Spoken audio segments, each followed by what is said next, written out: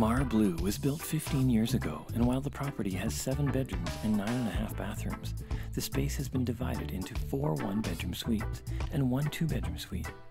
The other rooms have been utilized in other ways, such as dining areas, and the home is currently being run as a guest house. The property sits on half an acre of land and comes with a 440 square foot pool, as well as a small plunge pool. This home is being sold fully furnished, along with appliances.